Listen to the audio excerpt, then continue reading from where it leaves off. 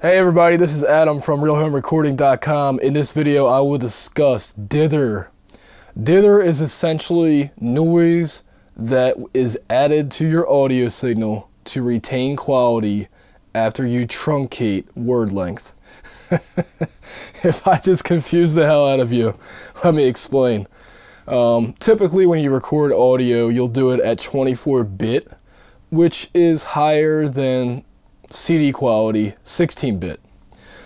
If you reduce 24 bit down to 16 and don't dither, you may have issues with audio quality, especially at lower levels and especially with uh, reverb tails. It's typically um, heard as well as um, I don't know. It's just it's just kind of weird. If like if you turn your volume up, you'll you'll really hear it. So 24 bit dithering down to 16 bit is essential. And not only is it essential, it actually can increase perceived bit depth or word length up to I think like 20 bits or 21 bits. It's actually it's actually pretty cool. So when do you dither? Dithering should be the final step in your audio processing. If you're doing your own mastering, this will be the very last step you do. If you're not doing your own mastering, do not dither. Send your 32-bit floating point file or 24-bit file to the mastering house. Don't dither down to 16-bit. They'll, they'll actually probably tell you this, but if they don't, you know, 32-bit, 64-bit floating point if they support it. Um, but otherwise, do not dither. Let them dither on their end. They'll they know what they're doing. If you're doing your own mastering though, this is what you do. So here's my master track. I have all my processing on it. The very last thing I have on is brick wall limiting. But you'll notice that I have dithering off.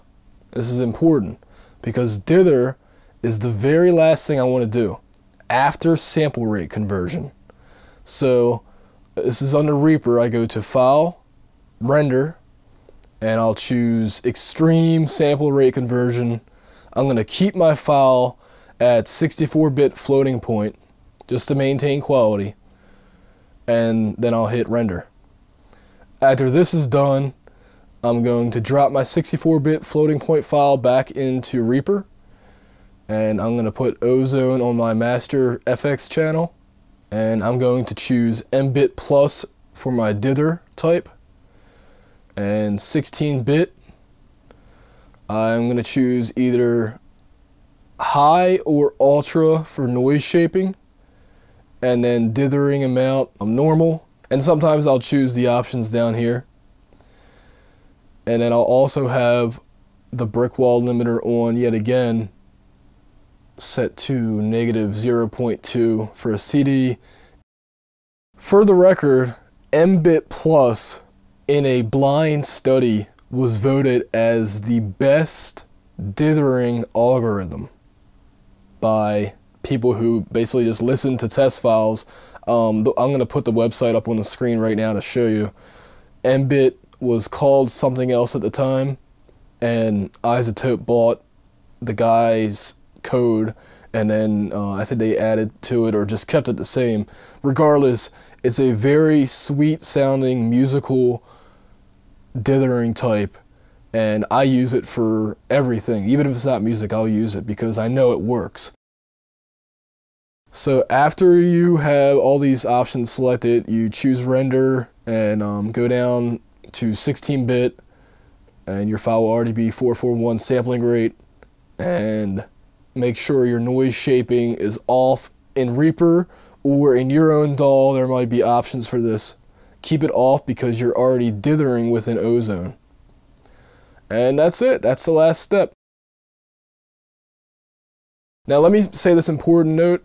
Dithering is the least of your worries. If your mix sounds bad, dithering is not going to improve it.